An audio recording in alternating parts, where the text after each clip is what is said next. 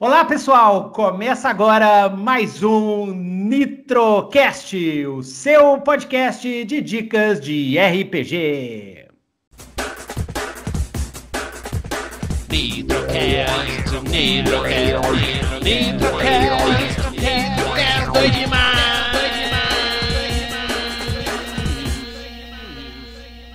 E hoje nós estamos aqui com o mestre dos livros jogos, Atos Belren! E aí, Atos? Se apresenta aí pro pessoal. E aí, galera, tudo bom? Tudo bom, tio Nitro? Cara, é um prazer estar com vocês hoje aqui. É um grande prazer estar falando especialmente contigo, que é um grande ídolo meu também, né? Pô, acompanho teu trabalho há muito tempo e tá conversando com a galera e poder trazer um pouquinho desse universo dos livros-jogos, né? Que tem uma base forte aí dentro do universo do RPG, para mim é sempre um grande prazer, né? Eu sou porto-alegrense, eu sou escritor, só que eu escrevo um tipo diferente de livro, que são os livros interativos. Livros onde o leitor participa da história como protagonista. Então, nesses livros-jogos, o leitor não vai apenas acompanhar acompanhar a trajetória de um personagem principal, mas vai ser o herói da aventura. Nesses livros, é você que escolhe que caminho seguir, que desafios enfrentar né? E vai vivendo uma aventura interativa é, que te leva por um mundo de aventura, por um mundo de RPG, cheio de monstros, de armadilhas, de tesouros, ao longo de uma grande aventura, onde tu vai ter que tentar de todas as formas aí chegar com sucesso ao final. E é uma coisa que realmente, Nitro, olha, mudou a minha vida, sabe? É minha vida de leitor, minha vida é de forma completa, assim, sabe? Mas para é, começar a conhecer até esse universo do RPG, né? Porque eu comecei lendo também os livros-jogos. Eu comecei. É... Ah, e como é que você lendo... isso? Como é que você começou? Qual foi eu, o seu eu, primeiro eu, livro-jogo? Eu comecei lendo a coleção de Aventuras Fantásticas, né? Hoje está hum. Tá sendo publicada com, com o título original em inglês da coleção Fighting Fantasy pela editora Jambô, né? Então eu comecei com o Steve Jackson, com o Ian Livingstone, né? E os livros dessa coleção aí, com o, o Feiticeiro da Montanha de Fogo, até tenho aqui a edição nova dele, né? Feiticeiro da Montanha de Fogo, é, a Masmorra da Morte, o Templo do Terror, a Floresta da Destruição, todos esses aí. E é uma coisa que me encantou e eu comecei a querer criar minhas próprias aventuras para jogar com meus colegas, né? Para jogar com os meus amigos, para me divertir. E comecei a escrever assim numa, numa brincadeira. Né? Só que essa brincadeira, depois de um tempo, acabou ficando um pouco mais séria aí, né? E até hoje eu tenho produzido histórias, publicado elas então, é, e tentado trazer um pouco dessa minha diversão, dessa minha paixão pelos RPGs, pelos livros-jogos, para que a galera possa conhecer, possa jogar, possa também se aventurar nesses mundos interativos. Dentro ali é, do universo da, da Jambô mesmo, né? Eu tenho livros publicados com eles também, entre eles aí a coleção Viver ou Morrer. Esse aqui, o Viver ou Morrer, é o, é o volume 1, Show, show, e, show. E também tem o, o, outro que eu gostaria de mostrar que é o Senhor das Sombras, né? O Senhor das Sombras, ele é um livro-jogo que se passa no universo de Tormenta, ah. que é o RPG mais, mais jogado do Brasil, e que ele é, é o segundo aí da, da coleção aí de livros interativos, de livros-jogos desse, desse universo. Então, cara, foi muito bacana, assim, é, fazer parte é, desse mundo de Tormenta também, né? E, e tá sempre podendo criar novas aventuras em qualquer cenário de RPG. Desde a fantasia medieval até o futuro alienígena, pós-apocalíptico, né? Então, poxa, cara, é muito bacana, assim, é um trabalho que eu amo de paixão mesmo. Legal, legal, legal. Antes da gente, que eu tenho várias perguntas para fazer para você sobre livro-jogo, sobre ligação com RPG e tal, nós vamos ver isso, mas primeiro, vamos ver primeiro o financiamento coletivo que você está começando agora, né? Do é, Manto da Coragem do Manto da Coragem. Então, conta aí para nós como é que é esse financiamento. Então, cara, o Manto de Coragem, ele é um novo livro, né, que ele tem uma, uma vibe, assim, de fantasia medieval. Ele traz aí uma, uma uma complicação assim antiga que a gente já conhece, que é aquela inimizade entre os orcs e os humanos, né? Uhum. Só que dessa vez esse, essa, essa guerra, essa rixa entre eles é na verdade apenas o pano de fundo dessa grande aventura de fantasia medieval do Manto de Coragem, onde de novo o leitor é, participa da história como protagonista, como herói, como personagem principal e cabe a ele, na verdade, mudar o destino é, é, dessas, dessas pessoas todas, ou desses orcs todos, na verdade. Ele é quem vai fazer a diferença no mundo do manto de coragem. É, dentro do financiamento coletivo no Catarse, tem toda a descrição do livro, tem uma sinopse dele que conta um, é, um pouquinho sobre esse universo também, sobre o que está acontecendo, sobre qual é o objetivo do jogador. Mas sem dar muitos spoilers aqui também, que eu não quero estragar a surpresa da galera, né? Hum. É uma fantasia é, interativa onde o leitor vai, na pele do herói, ter que encontrar um artefato artefato poderoso que vai mudar o destino dessa guerra entre humanos e orcs. Ele, o, o herói do Manto da Coragem é orc ou humano, ou você pode escolher? Ele vai começar é é? jogando no lado dos humanos, porque eles estão hum. perdendo hum. a guerra, né? A Horda, ah. né? A Horda acabou dizimando, assim, colocando, né, uma das últimas uhum. cidades uhum. humanas, assim, num grande perigo. Então ele começa nesse lado. Mas tem várias coisas ao longo do enredo que vai, que vai ah. podendo alterar essa participação dele também, né? É. Então, assim, é, o Manto de Coragem, além de ser uma aventura interativa de fantasia medieval, ele traz uma série de mecânicas inovadoras para essa, hum. essa questão, para esse universo dos livros-jogos, né? Então, você resolveu fazer, um, fazer uma variação, assim, dar uma. colocar algumas ideias que você tem de, de como é que é, é, em cima do, de livro-jogo algumas ideias novas, né? Então, esse Manda Coragem não é só um livro-jogo, é um livro-jogo com algumas mecânicas novas, é isso? Exatamente, assim, na verdade, todos uhum. os meus livros, eles trazem coisas diferentes, né? Tanto a coleção Viver uhum. ou Morrer, O Senhor das Sombras, tem um outro livro que eu fiz, eu vou apresentar rapidinho para vocês aqui, que é o Inimigo Digital. O Inimigo Digital, ele é um livro-jogo é, baseado no universo do Minecraft, na verdade. Ah, né? eu vi, eu vi desse, e lá esse, na Filavec. É o seguinte, foi, foi, assim, uma, foi uma surpresa para mim mesmo, tá trabalhando, né? Acabar trabalhando com esse universo. Mas eu faço muito trabalho com as escolas, tentando levar é, esse universo dos RPGs e a leitura divertida é para gurizada mais jovem. Leitura de entretenimento, eu... que é o que a gente precisa porque, divulgar assim, aqui no Brasil. O leitor, o leitor tu cria desde, desde cedo, né? Então, assim, uhum. assim, eu sempre digo, poxa, não tem gente que, é, que não gosta de ler. Tem gente que ainda não encontrou o que gosta de ler. Então, se uhum. tu começa com isso mais cedo e leva uma proposta divertida, uma proposta interativa, uma proposta que agrada o jovem, sabe? Tu tem muito mais chances de criar um leitor para o resto da vida. Então, é. não é assim, ah, vou começar com livro-jogo e vou ler livro-jogo pro final da vida. Não é isso. Mas é uma primeira leitura divertida. E nesse contato que eu tive com as escolas, a gente sempre falou muito de cultura, de literatura, de games. Uhum. E o pessoal comentava sempre sobre o tal do Minecraft, que eu também não conhecia. E eu, poxa, de tanto ouvir, segui a dica da galera e fui atrás. Fui conhecer esse universo também aí do Minecraft. Comecei a jogar e tal, e quando eu era criança, cara, eu adorava brincar de Lego. O Minecraft uhum. é um uhum. Lego digital. Acabei curtindo bastante o universo, a questão de tu poder criar, especialmente, qualquer coisa que tu imaginares, assim, sabe? Uhum. E eu pensei, poxa, o pessoal falou, por que, que tu não faz um livro de Minecraft? Pô, será que dá para fazer? Eu descobri que dava, cara, sabe? Dá pra ah, criar uma legal. história desse universo. Então, o inimigo digital ele é uma aventura interativa, literária, que não necessariamente precisa, exige que o leitor conheça o universo, ele apresenta o universo para o leitor também do Minecraft, não, não, ah, não precisa conhecer o jogo de antemão, é, mas que tu joga. E é um livro que, assim, traz muitas mecânicas diferentes, sabe, que é, tu não vai ver nos livros jogos, é, jogos é, do dia a dia, sabe? Então, esse uhum. livro tem mecânicas muito bacanas. E depois de trabalhar com esse livro aqui, eu já tinha um manto de coragem basicamente estruturado, mas eu resolvi dar uma nova cara para ele, trazer mecânicas mecânicas ainda mais inovadoras, coisas diferentes que eu ainda não tinha visto em livros jogos. Então, ah. assim, no manto de coragem, além de tu poder jogar várias e várias vezes, porque os livros jogos te dão essa oportunidade de ler o mesmo livro é, 10, 20 vezes e sempre ter uma história diferente. Né? Uma história onde tu vai poder explorar cada leitura novos lugares, encontrar novos tesouros, enfrentar novas uhum. criaturas. Ele traz mecânicas como desafios, que são é, aquelas challenges sabe? Os achievements, digamos assim, que a gente encontra sei, em vários sei. jogos também, onde tu vai poder jogar novamente a história, tentando cumprir é, objetivos uh -huh. diferenciados que não aquele de simplesmente chegar Easter eggs, né? E, e, achar easter eggs também, né? Achar Exatamente, easter eggs. Cara, easter eggs tem de monte, tem também.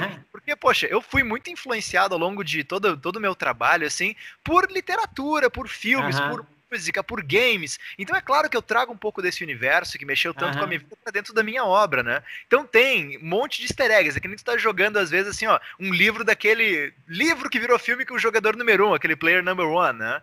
Uhum. Então tem, tem muita coisa assim, também que eu gosto de trazer pra galera ali. Mas tem essa, essa mecânica dos desafios, tem mecânicas uhum. onde tu pode, é, é, depois de jogar a primeira vez o livro-jogo, onde tu pode tu mesmo gerenciar novas mecânicas para alterar o funcionamento andamento da história. Então, já viu no jogo, naqueles jogos eletrônicos, esse assim, New Game Plus, aquele novo uhum. jogo mais, o Manto de Coragem também traz essa mecânica. Ou seja, tu pode usar o personagem que tu jogou a primeira aventura e não criar um novo, mas usar o mesmo personagem do jeito que ele terminou e, e jogar a aventura novamente com aquele personagem já forte, sabe? Mas Sim. num jeito onde o livro acompanha o teu crescimento e aumenta os status, a dificuldade das armadilhas, das criaturas, tudo isso ele traz ali dentro sabe? Então tem essa mecânica do novo jogo mais, tem os desafios, tem uma arena no final do livro onde tu pode pegar e fazer uma espécie de campeonato de combates com as criaturas que tem na história. Então tem uma série oh, de mecânicas novas assim que vão estar no manto de legal. coragem. E essas mecânicas elas estão ali junto, quando vocês olharem no Catarse, financiamento coletivo, né? Depois da meta, tem as metas estendidas, e muitas delas ali também já, a gente já consegue jogar elas dentro das, das metas estendidas. Então, uma proposta muito bacana, uma proposta que está trazendo é uma história inédita, né? Num universo de fantasia medieval, uma história interativa num livro-jogo que ainda traz uma, uma porção aí de mecânicas novas num livro de aventura onde vocês podem jogar várias e várias vezes, se desafiando e conhecendo cada, a cada leitura um pouco mais do universo aí do Manto de Coragem. Legal. E fala um pouquinho, eu gosto muito de saber o lore, né? Gosto muito de saber o cenário. É, o, o, o, você falou, né? É, como é que é o cenário do, do Manto de Coragem, assim? Só, só o estilo, assim, é, é, é, mais high fantasy, low fantasy, é mais brutal. Brutal é que é o meu termo para grim fantasy, né? Sim. Ou é mais light? Como é que é?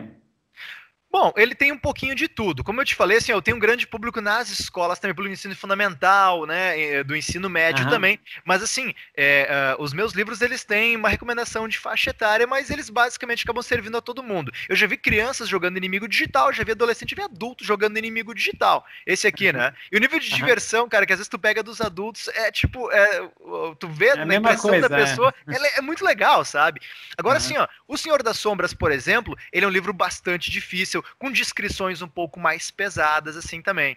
Tem outro livro da é minha autoria Souls, que é o. Né? É o seu Dark Souls. É, esse, esse é aqui, é, ele, ele, ganhou, ele ganhou esse apelido Dark na internet, Souls. né? O Senhor das Sombras ganhou o apelido de Dark Souls dos livros jogos pela dificuldade dele. Mas a galera pediu o desafio, né, cara? Então a gente uh -huh. trouxe o desafio ali e Dark Souls literário tá aqui, né?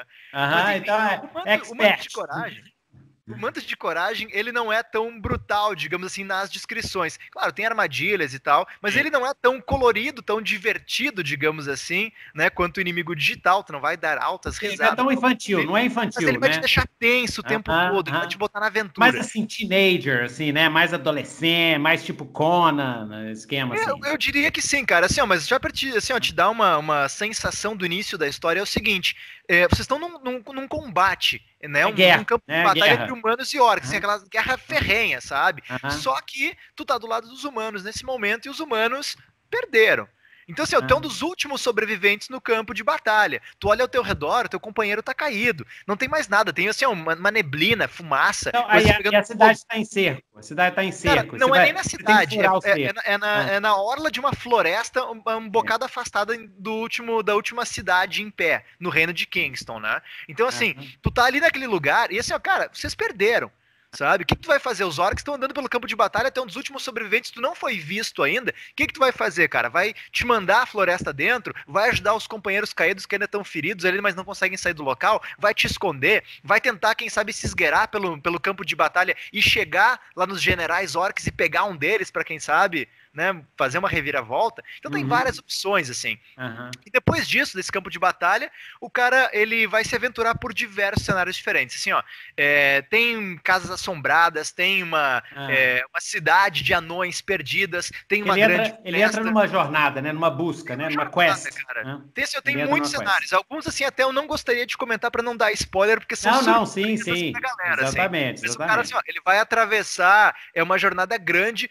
por diversos diversos cenários diferentes, inclusive dentro daqueles desafios, ele fala ah. assim: olha, será que você consegue é, encontrar, é, se aventurar em todos esses cenários? Até já vou te dizer quantos aqui, cara. Uh, quantos diferentes tem só nos desafios, né? Deixa eu procurar aqui rapidinho. Ele hum. tem Olha só, cara, tem pelo menos 12 locais que inicialmente ele consegue visitar. Nossa ali, senhora. Né? 12, 12 cenários bem diferenciados um dos outros, assim, que o desafio já te, já te coloca. Olha, se não na primeira leitura tu passar por esses 12 locais, cara, joga de novo, porque tem um monte de coisa para tu explorar por ali.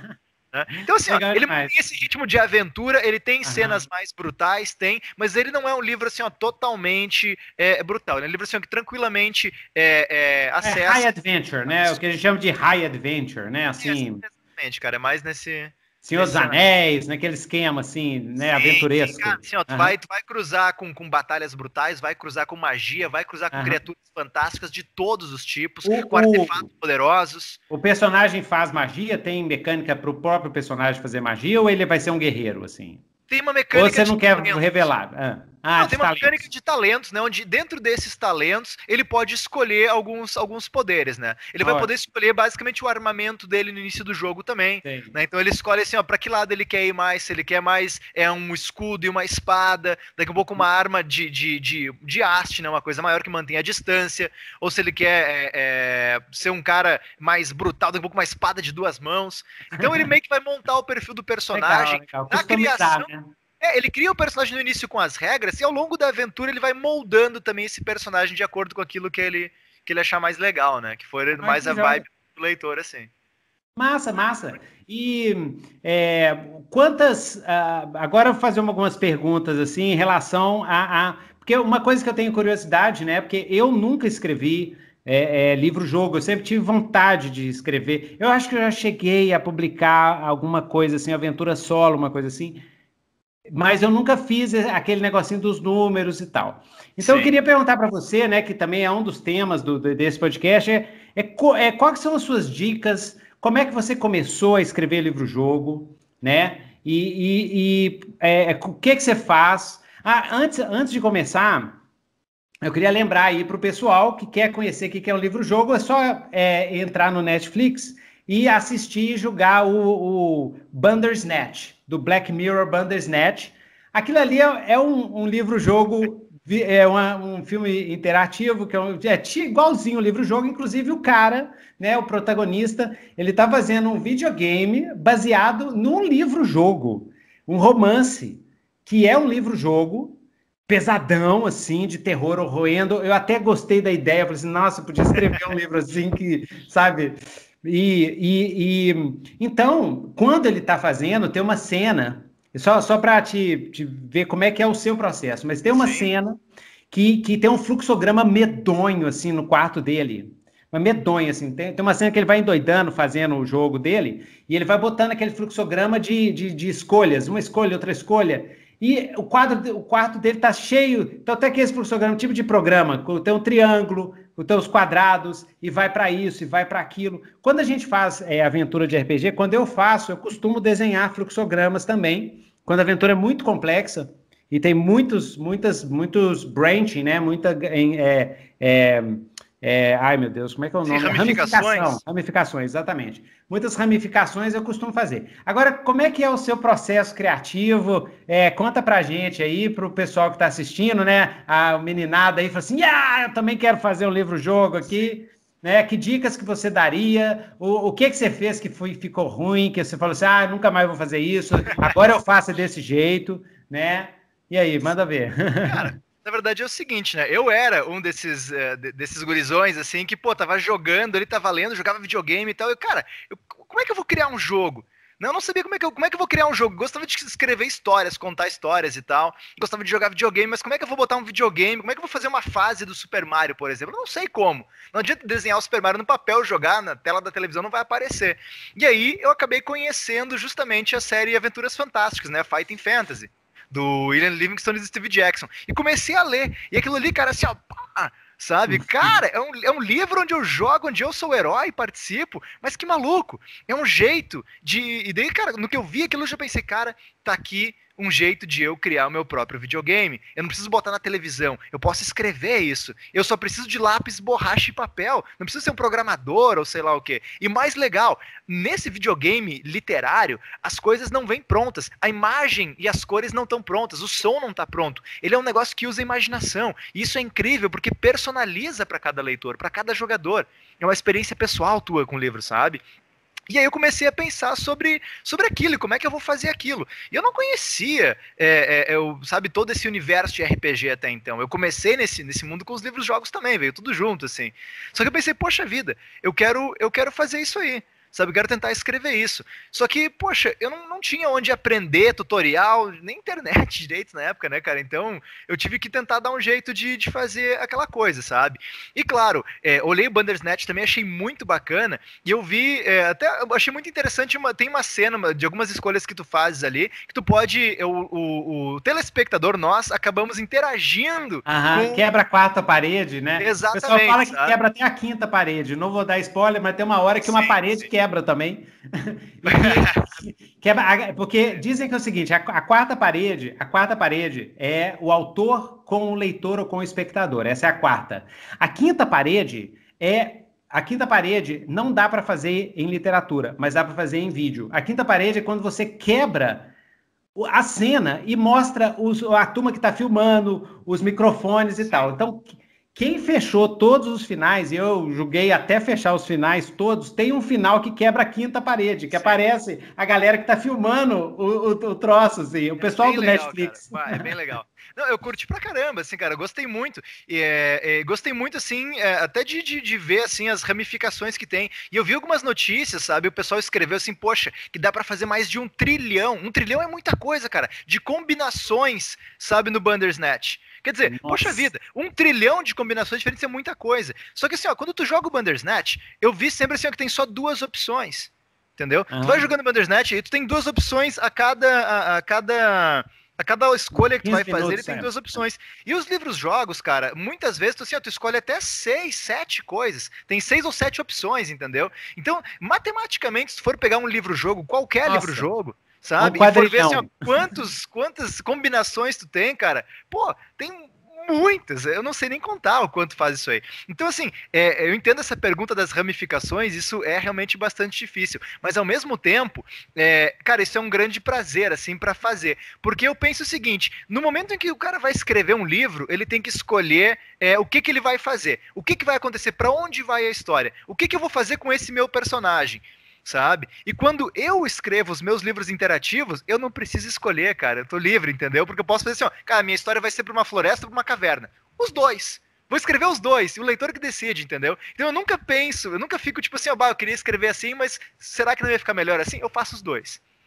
Isso é mas legal. Como é que você, mas ah, o grande é, lance, aí, ó, como é que você organiza? Como é que você organiza? Olha só, cara, a primeira coisa que eu decido é o tamanho da história. E o tamanho ah. da história, basicamente, ele vai ser definido pela quantidade de parágrafos numerados que tu ah, tens ali. Né? Tu vai decidir assim, ó, quantos números tuas histórias vão ter, né?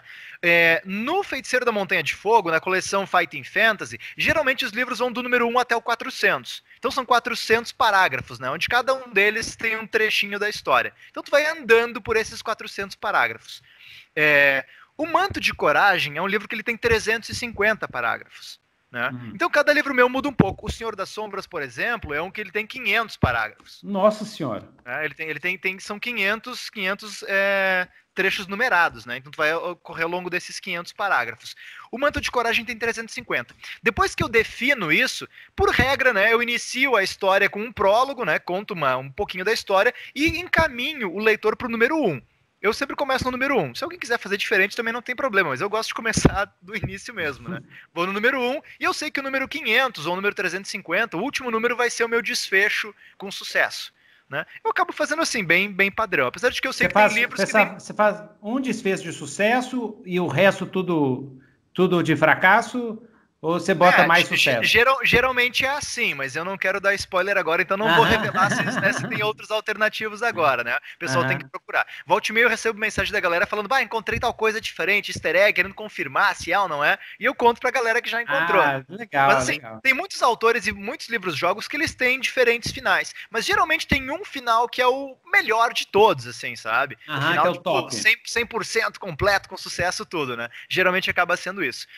No número 1, um, eu começo a escrever e mando do número 1 um o leitor para algumas opções. Ó, oh, tu quer ir para a esquerda, quer ir para a direita, quer entrar na caverna. E quando eu faço isso, eu começo a jogar com os outros números que eu tenho né, nesse hum. meio do caminho. O grande problema é o seguinte: é organizar isso aí tudo para não se perder. Então eu geralmente faço o seguinte: eu crio uma folha que é simplesmente uma lista de números Se o meu livro vai do número 1 até o 500, eu vou fazer uma, uma lista do 1 até o 500. E os números que eu já escrevi, o número 1, por exemplo, eu risco dessa lista. E se o número 1 mandou para a esquerda e para a direita, sendo que ele diz assim, ó, se for para a esquerda, vá para 32. Se for para a direita, vá para o 119. Eu vou circular o 32 e o 119 nessa minha lista, indicando nela que esses números já estão comprometidos, que eles já estão reservados para alguma coisa, para o caminho da esquerda ou para o da direita.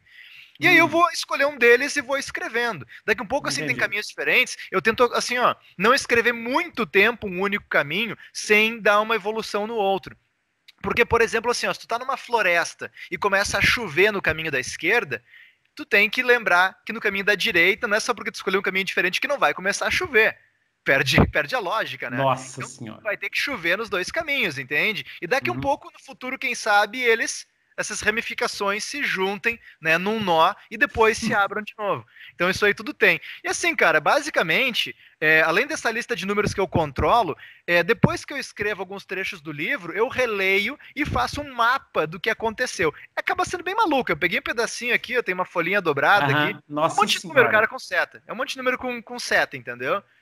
Então, é eu achei que você usava algum tipo de software de, de, uso, de cara, fluxograma, alguma coisa. Não uso, cara. Assim, Legal, você vai na munheca. Uhum. na munheca. Essa, essa, lista, essa lista que eu tenho, eu, cara, é uma lista que eu fiz no PC, mas eu imprimo a folha e controlo ela basicamente, sabe, com lápis, caneta e tal. E depois faço uma, uma listinha assim. É mais rápido fazer na mão, não é porque, né? Uhum. É porque não, não, sim, sim. É, é mais rapidinho, entendeu? Só por isso é mais prático. Eu não preciso ficar minimizando tela, sabe, com lista numa e texto na outra. Ou interlinkando tudo, assim, não precisa. Ah, cara, eu prefiro assim, ó, virar a cabeça pro lado um pouquinho e escrever uhum. ali do que ficar clicando minimizar e voltar. Isso às vezes e você testa, e você testa os você testa os jogos assim, é, você pega aí, ok, vamos ver se, se tá balanceado. Claro, tem que fazer, cara, porque assim, ó, tem uma grande diferença do livro regular pro livro interativo, livro-jogo, né? Porque assim, no livro comum tu escreve, tu vai ler, reler várias vezes, teu editor-chefe vai ler, ah, né? Outras pessoas vão ler, vão te dar dicas, tá, vão corrigir, vão limpar, vão, né, é, deixar a história redondinha. Agora, no livro-jogo, além de todo o enredo, além de toda a história, tu tem a mecânica do jogo.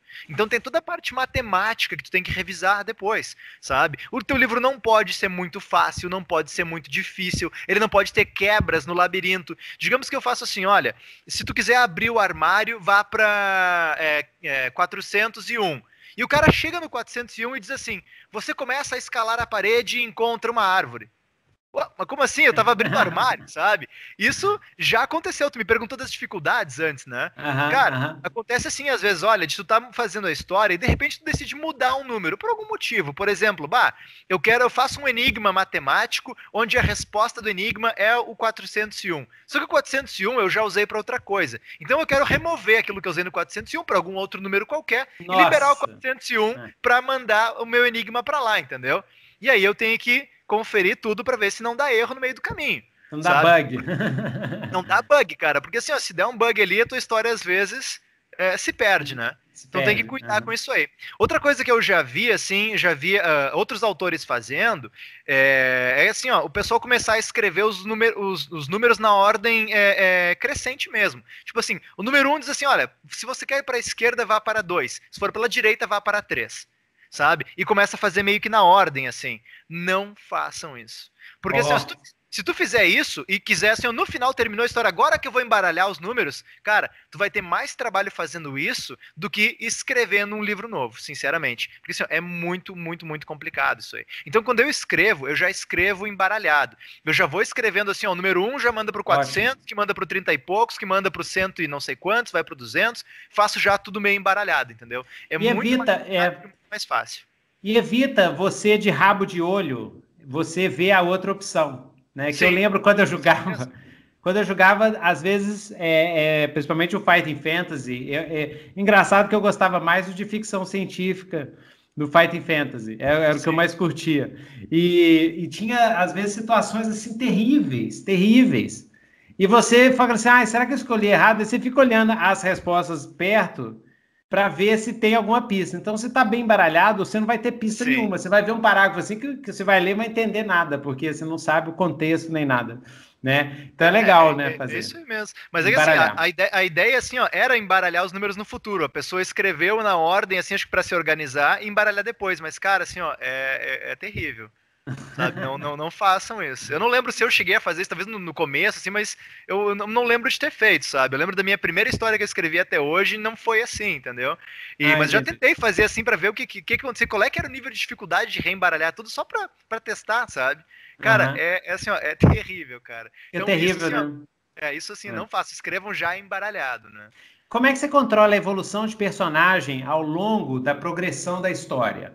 Para que quando ele chegar na, na cena 428, por exemplo, é, como é que você sabe que quando ele chegar na cena 428, ele vai ter a espada mais dois e o, a poção de cura tal, que vai dar uma base para ele enfrentar a besta infernal do, do, do, do abismo? Pois é.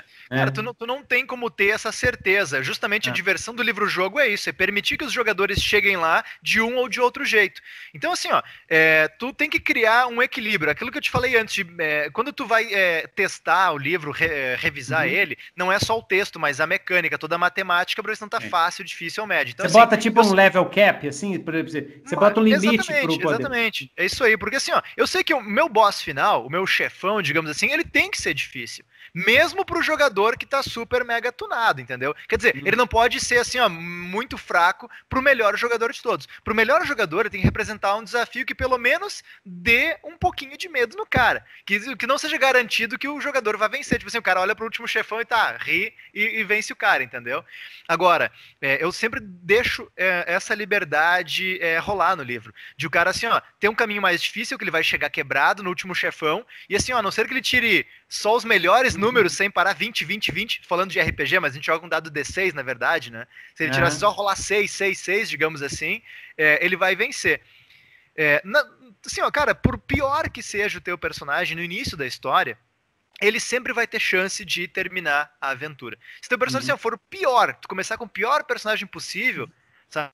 sempre vai ter uma chance de acabar a história. Mas, cara, tem essa liberdade. Então, tu pode chegar nos desafios, né? Nessa besta do abismo aí, tu pode chegar nela é, é, fraco, é, moderado ou bastante forte. O que vai te criar uma, uma tensão maior ou menor, uma dificuldade maior ou menor naquela, naquela situação. Mas justamente assim, ó, o negócio do, do cap é bem isso mesmo.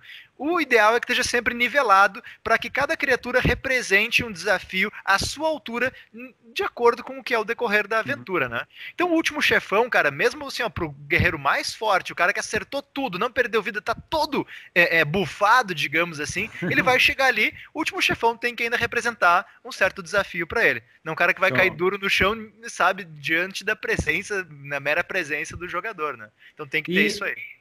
E você tem algumas dicas para jogar livro-jogo?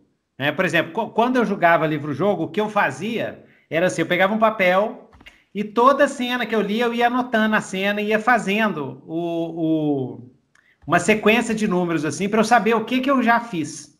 Que aí, quando eu morria, eu voltava quando já mandava para o livro 2, ah, eu já fiz isso, aí eu ia lendo 2, ah, já sei o que, que é, assim, para não ter que ler todo o parágrafo de novo, assim, já sei o que, que é, ah, é para enfrentar esse monstro, pá, tal. Eu fazia assim, entendeu? Eu ia Sim. anotando, cada vez que eu jogava, eu ia anotando os números para eu saber. Porque, por exemplo, se ele me. Se, às vezes isso acontecia. Você tá lá numa cena, cena 38, aí o cara fala assim: ó, você pode ou ir para a cena 4 ou ir para a cena 18. A cena 4, eu olho no meu mapa, ó, já fui na cena 4. Entendeu? Aí eu falei assim, ah, então eu vou na 18, que eu já fui na cena 4 não achei nada. Então, sabe? Isso Sim. que eu fazia. Pra, porque senão você acaba esquecendo qual cena que você foi. Né? Como é que você faz ah, quando você joga? Eu até o seguinte, na verdade, assim, ó, eu, eu tinha, uma, tinha uma experiência muito parecida com essa tua, né? Eu, hum. depois de algum tempo, comecei a criar uma espécie de mapa, né? De números, uhum. né? Então, assim, os números que eu ia passando, a 1, 32, 104, uhum. e aí vai indo, sabe? Eu ia anotando também. E quando tinha uma bifurcação de caminhos, geralmente eu sublinhava ou circulava esse número, porque daí se ali na frente eu morria, é, por alguma questão de armadilha, não de perder certo. os dados para monstros, é, o, tipo assim, poxa, via que era meio beco sem saída, né? Eu voltava até a opção sublinhada, circulada, escolhi o caminho oposto. Certo. Ótimo, tentava fazer assim. excelente. assim. Essa dica do mapa, na verdade, eu indico para os meus leitores. Tanto que no manto de coragem, na ficha do herói que vai ter ali, já vem um espacinho para que ele possa fazer um mapa. Né? Tem um ah, espacinho justamente para isso. Tem jeito então, de você bolar um mapa assim? É, só uma ideia que me veio aqui, né? Se, no, se no livro-jogo já viesse o encarte com o mapa para o leitor, assim, sabe? Uma ideia que eu tive aqui. Sim. Que aí, à medida que ele vai fazendo, tipo bingo, né? Ele vai riscando os números que ele viu. Sim, é, também vai... poderia ser isso. É, assim, é, ó, nesse, no Manto de Coragem não tem um mapa do universo desenhado, né? Mas assim, ah, ó, por exemplo, no, no, Inimigo Digital tem o, ele vem com um mapinha aqui no começo do lugar, né? Ah, que show. Legal. Todas essa, é, todos esses ambientes aqui, o leitor ele vai, vai passar ah, eu por adoro, eles, né? Adoro o mapa. Então, assim, ó, mapa é comigo mesmo. É legal, né? Eu, eu curto é, também, cara. Demais. Legal demais. Mas assim, é, o, o, o, manto de coragem, ele tem ambientes mais fechados, assim, em alguns lugares. Então não adianta eu botar um mapa de um monte de coisa, né? O mapa da masmorra, o mapa da mina, o mapa da floresta, o mapa, né? Mas enfim, cara, assim, ó, eu fazia muito isso quando eu lia também, sabe? É, tentava vencer os desafios sempre na, na honestidade, ali até certo ponto. Mas, cara, depois de algum tempo, é, tu já conhece a história, tu já é. explorou, sabe, os exatamente. caminhos todos. Então tu quer evoluir um pouco naquilo, sabe? E Você assim, quer ó, fechar e, o jogo. Você quer fechar fechar o jogo, fechar, é isso aí. É. Então, assim, é algumas que... vezes, claro, tu acaba passando batido pela, por algumas cenas da aventura que tu já passou algumas vezes antes, né? Em outras experiências que tu tivesse, né? E vai em frente. Isso eu digo pra minha galera também que lê meus livros, sabe? O cara fala assim, bah, meu, é, eu venci, mas eu, bah, eu venci roubando. Eu disse que venci na, na, no combate, nem lutei contra os caras, nem joguei os dados. Eu falo, cara, beleza, não tem problema. A experiência do livro-jogo tem que ser divertida pro leitor, entendeu? Rolar uhum. dado, fazer a parte matemática, é um bônus, é uma não, diversão ele tá ele tá lendo, né? Ele tá lendo uma história, Exatamente. né? O principal então, é, isso, cara. Assim, ó, tu não é. quer jogar dado, tu não quer fazer teste, não quer criar ficha do personagem, uh, mas tu quer ler a história. Cara, não deixa de jogar então. Sabe? A minha dica é essa, tipo assim, cara, olha, tu não quer fazer a parte da mecânica, a parte assim de, de jogar dado e fazer tudo, mas tu quer ler a história, por favor, é. sabe? Tô te convidando, leia a história, sabe? Porque o principal é isso, é a leitura, é, sabe, é te divertir com aquele mundo, ter uma experiência gostosa, encontrar o caminho, viver a aventura e ser o herói sabe? É. Então, cara, se tu quer jogar o livro dessa maneira, vai firme, não tem problema nenhum, sabe? Ninguém vai te julgar, ah, venceu roubando, né? Sei lá, cara, não tem problema. Esses jogos aqui são para que a gente possa se divertir, possa conhecer um novo universo, possa estar tá explorando e vivendo uma aventura na pele do personagem principal, sabe? Para quando a gente for é, de noite encostar a cabeça no travesseiro, a gente poder imaginar aquele mundo, sabe? Se deixar levar por aquela história, sabe? Como se a gente tivesse lido um grande livro, né? Que também, é, não que não seja um grande livro, mas digo, uma história de um outro personagem, é, imaginar sim, sim. toda aquela é. vida só que em primeira pessoa. É. Não, e, eu, e, o, e o mais legal, né? é que é quando você escreve um livro-jogo, você usa um, um, ponto de vista que não é muito usado em literatura, que é o de segunda pessoa. Que é o ponto de vista de segunda pessoa, que sempre narra assim, você está fazendo uhum, isso, você é isso pegou tal coisa, que é ótimo, porque dá aquela identificação direta, isso, isso é fantástico. Agora, para a gente é, é, chegar na parte final do nosso podcast, eu queria que a gente conversar um pouquinho sobre, é, a, a, a, por exemplo, se você vê a relação entre o livro-jogo e o RPG em si, o RPG de mesa tradicional, sim, né? Sim. É, primeiro, é, se você joga RPG, você já falou, né? Você, você deve jogar pra caramba também. E co como você começou e o que, que você vê essa, se tem essa ligação? Outra, outra pergunta. Você, se você mestra RPG, e se o, a, a, o modo como você cria livro-jogo se não vaza para o modo como você narra, entendeu? Se você, entendeu? Porque eu acho que você, como você tem um treinamento no livro-jogo, acho que quando você narra, porque muitas vezes, até quando eu estou narrando, às vezes eu tenho dúvida de quais opções eu ofereço para os jogadores. Quando, quando seja numa, numa situação, eu gosto muito de deixar bem claro para os jogadores as opções que eles, que eles têm. Porque muitas vezes os jogadores ficam perdidos em relação a alguma coisa. Mas se você colocar claras opções e botar umas seis opções assim, já aí já vai orientando o, o fluxo do jogo, né? Vai, vai conduzindo. Então aí, como é que é que você vê essa relação entre o RPG e o, e o livro-jogo na, na, sua experiência? Tipo assim, quando você começou e tal? Cara, então, ah. eu comecei lendo os Aventuras Fantásticas mesmo, né? Eu comecei hum. escrevendo hum. e comecei a ir atrás mais desse universo aí dos, dos RPGs. Porque ah. É, eu, na verdade, assim, eu tinha uns 10 anos de idade, quando eu tô é. contando coisas de quando eu era criança, né? E eu comecei a compartilhar isso com os meus colegas. E meus colegas começaram a escrever histórias também. Eles foram comprar os Aventuras Fantásticas, a gente começou a trocar um com outros livros. Vocês mestravam, um... Vocês mestravam com Aventura Fantástica? Eu conheci gente que começou no RPG Sim. com Aventuras não, Fantásticas, cara, ainda, ainda não, mestrando, não... lendo. E Sim. o pessoal. Não, mas eu não, eu não, manjava ainda, cara. Eu ainda não conhecia bem esse universo, né? E junto com isso, cara, alguns jogos de videogame da época, assim, que me encantaram, como. É, eu tinha o Super Nintendo, né? Então era o Zelda, Link to the Past, tinha o Chrono Trigger, né? Que pra mim é um dos meus favoritos até hoje. É. Sabe? Fantástico. Então isso contribuiu muito. E, quando tu começa a, a, mergulhar nesse universo dos RPGs, no, no livro-jogo, nos jogos eletrônicos, começa a ler um pouco mais, começa a ter contato com pessoas, sabe? É, tu começa a conhecer outras coisas. E assim, Na real, é, eu comecei a escrever histórias para jogar na sala de aula com os meus colegas. Só que hum. eh, os meus professores conheceram o meu trabalho e começaram a me incentivar e abrir espaço em sala de aula, às vezes, para pegar as minhas histórias e jogar com a turma, quando ah, sobrava um tempinho na sala de aula. Então, os meus professores pegavam as minhas aventuras e jogavam com a galera votando, escolhendo os caminhos que eles queriam seguir, ah, sabe? Que ótimo. E a galera adorava ótimo. e tal, sabe? E foi assim, ó, foi muito bacana. E no final daquele, daquele ano, eu tava no, no, no, no, no quinto ano na época né? A antiga quarta série é o quinto ano hoje. Uh, surgiu a ideia, assim, até dos meus pais, dos meus professores em conjunto, de pegar as histórias que eu tinha escrito e publicar elas. Sabe? Hum. Fazer tipo um encadernado, assim. Que era um livro que nós ia distribuir, fazer 20 ou 30 livros para distribuir para minha turma da sala de aula. Era ah, só isso, cara. Legal. Só que esse livro, quando a gente começou a fazer, e esse foi o primeiro Viver ou Morrer, na época, quando ele estava na gráfica sendo feito, aqueles 20 e 30, uma editora acabou conhecendo ele sabe? Ah, de, é. bem bobeira, assim. Era mercado aberto ali de Porto Alegre, que hoje é extinta mercado aberto, uhum. né?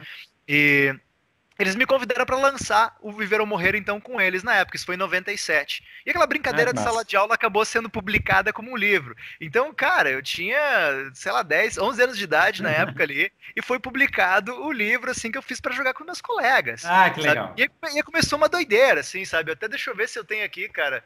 Vou, vou mostrar ah. até de, de, Deixa eu pegar aqui rapidinho. Vou mostrar até de zoeira, tá? Vocês podem me, me, pra galera poder me tirar depois, assim, bem. Aham. Mas olha só, tem.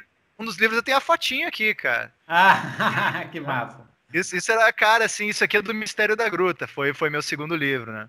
Ah, e, e assim, ó, foi, foi muito doido, assim, sabe? Eu comecei, e claro, trabalhando com RPG, conhecendo mais gente, indo a lugares, começando a conhecer gente ah. do meio essa conheceu o RPG, né? Eu lembro que Aí eu comprei você começou aquele... com Dungeons and Dragons? Cara, foi, foi, com, foi com o AD&D, né? O ah, AD&D. Eu comprei aquele kitzinho que era o First Quest, acho que era. Que vinha, que vinha um CD, né? Isso, vinha um CD com uma show. narração, vinha os personagens de plástico, um conjunto de dados ali, né? Uhum. É, e veio com uma revista junto a Dragon Magazine, acho que era que tava vendendo na época, assim. E foi minha primeira experiência com RPG com cenário, tabuleiro e tal, tudo. E tinha também o Hero Quest, né? que era aquele jogo de tabuleiro. Acho que era da, da Estrela na época, se não me engano. Uhum, uhum. E tinha o jogo Hero Quest. Cara, e dali a coisa foi indo, né? Comecei a tentar mestrar aquele First Quest para meus colegas, para meus amigos, fui conhecendo novos sistemas, né? Depois o AD&D veio o D&D, né? o 3.0, 3.5, e ali que realmente eu comecei assim a formar grupos, nessa época do, do, do 3.5, a juntar uma galera para jogar com mais frequência, não só quando tava, tipo, na casa dos primos, né? Aleatório, assim. E até hoje eu jogo, cara. Amanhã... E você é mestre? Você é mestre? Eu sou mestre, cara. Cara, eu como jogador, cara, assim, hum. sinceramente, dá para contar nos dedos as vezes que eu joguei de boa, uhum. sabe? Eu, eu, sempre acabo sendo mestre. E assim, quando eu mestro, na verdade, assim, ó, o meu grupo ele é bastante misto. Eu faço questão assim de a cada campanha trocar a galera do grupo. Então, assim, eu sempre tenho um pessoal de perfil diferente, sabe? Assim, ó, de, de uhum. é, tudo que tu possa imaginar de perfil diferente. É um grupo assim, ó, sempre muito misto. Tem meninos, tem meninas, sempre tem, sabe? Uma galera diferente. Uhum. Tem assim, ó, gente de todas as idades também, sabe? De opiniões diferentes, gente com perfil muito diferente, sempre tem. E eu sempre Você faço questão... online ou presencial? Presencial. Uhum. Presencial, sempre uhum. presencial. Então, assim, é pra ter aquele contato com a galera, sabe? Então, assim, eu tenho a oportunidade de estar fazendo isso uma vez por semana, sabe? Durante três horinhas, ah, geralmente na, segunda, na segunda-feira à noite, assim, a gente joga das 7 das 19 às 22 horas, né? E, e assim, cara, é muito bacana e eu faço questão de ter sempre pelo menos uma pessoa no meu grupo que ainda não tenha jogado RPG. Então, a cada campanha, sempre convido um novato para né, apresentar e botar ele no mundo do RPG. Se gostar, gostou. Se não gostar, pelo menos tentou, né? Você joga então, aventura assim, cara, pronta ou você mesmo cria suas aventuras? Eu crio, cara, eu crio elas, uhum. assim, ó, na verdade, até o, o, sistema que eu tenho usado hoje, especialmente pela questão dos novatos, é um sistema adaptado meu. Eu peguei o que ah, eu gostava ótimo. de cada um, assim, sabe, meio que fiz um sistema, um sistema ótimo. meu mesmo, assim, bem simplão e tal, mas que supre todas as necessidades. Eu, quando ótimo. jogo, eu foco bem mais na parte da história e da emoção do que na parte de dado e teste Mecânica, e tal. Tem tudo então. isso também, sabe, mas eu não sou aquele uh, advogado que o pessoal chama, né, sou mais do uhum. storyteller, assim, sabe. Mas tem também. E assim, e cara, você acha que vaza alguma coisa assim do livro-jogo, da sua, das suas ideias? Você testa acho... situações do livro-jogo no jogo de, de RPG, por exemplo? Um, eu acho que acontece assim, ó, pros dois lados, cara. Eu acho ah. que às vezes coisas da mesa que acabam sendo criadas ali vão para os uhum. livros-jogos e também um pouquinho o contrário. Mas assim, eu vejo o seguinte: é, eu não tenho, é, verdade, isso assim, ó, eu não tenho, infelizmente, eu não tenho muito tempo de preparar as aventuras sabe? Então, uhum. assim, o que uhum. acontece? Eu chego às vezes assim, ó, gente, vocês querem começar uma nova campanha de quê? Em, em, que, que, que mundo, Você vai improvisando lá na hora. Eu acabo assim, ó, 99% das vezes eu acabo improvisando. Eu tenho algumas ideias, assim, alguma coisa meio bolada, alguma, tipo, um direcionamento, sabe? Mas eu raramente tenho um, sequer um mapa desenhado sabe? Então eu uhum. chego ali meio que vou, vou fazendo, sabe? Vou, vou criando um negócio. Às vezes, claro, que dá, dá aquela meio que uma travadinha, às vezes, assim e tal, mas daí o pessoal, eu uso, eu saio da travada quando o pessoal tá no combate, entendeu? Ah, Vou pensando na história. Então eles não, não, não tá chegam a ser inimigo dele, foi, manda brasa. Exatamente. E agora é o seguinte, nesse momento, assim, que às vezes os dias que eu não me sinto muito criativo, porque acontece, às vezes o cara tá cansado para jogar, mas tem um compromisso com o grupo, o cara é um mestre, o cara tem que estar tá lá, entendeu? O que que eu faço? É nesse momento que eu acabo usando as minhas cartas na manga, os meus coringas, que são os livros. Ah, né? entendi. Então, assim, ó, poxa, o dia já tem a situação montada ali, aquela ceninha montada, é, eu, enigma, cara, né? Eu penso assim, ah, poxa vida, meu, bah, a história de hoje eu tô meio sem inspiração, assim, tô vendo que vai ficar meio ruim de criar na hora, então eu já ah. vou começar com uma situação de uma história minha ali, encaixar o pessoal ali dentro, com algumas modificações e tal, né? É, então, assim, funciona dessa maneira. Mas muito mais eu vejo, assim, de criar na mesa, porque é uma criação, que nem eu te falei, eu, eu acabo funcionando do método mais espontâneo, assim, e eu acabo trazendo essas ideias depois para dentro das, das minhas histórias, né? E eu deixo a galera muito livre, assim, eu, eu, eu toco a situação em cima deles e, ó, gente, o que vocês fazem? Boa sorte. Criem divirtam-se, sabe? Eu é acabo não dando muitas, é, eu acabo não dando muitas opções assim. Ah, que ótimo. Pra, conhecer o grupo, ver o que o pessoal, né, deixar eles discutir, deixar eles especialmente se entender, porque às vezes há um conflito de egos tá, também, às vezes, sabe, um conflito Aham, de personalidade. É, assim, ó, eles aprendem a trabalhar com o grupo, uhum. sabe? Trabalho de equipe é muito importante e eles se afinam fazendo isso. Então isso é então, é legal, cara. A construção do grupo é muito interessante de ver acontecer também. Então aí, pessoal, vocês estão vendo aí com o mestre, o mestre Atos é, ele é, é, lê o livro-jogo, então ajuda a mestrar. Seria essa a dica?